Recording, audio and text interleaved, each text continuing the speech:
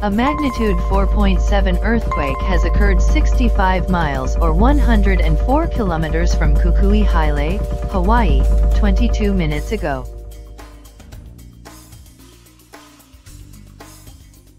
This earthquake was located near latitude 20.97 north, longitude 155.98 west, and has a depth of 21.75 miles, or 35.00 kilometers.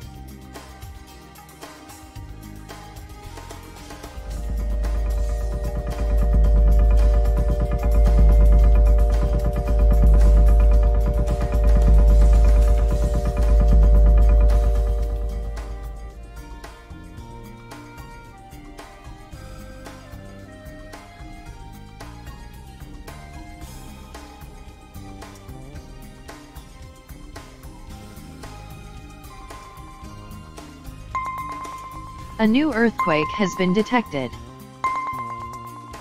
A magnitude 3.5 earthquake has occurred 14 miles or 22 kilometers from Petit Trou de Nippes, Haiti, 9 minutes ago.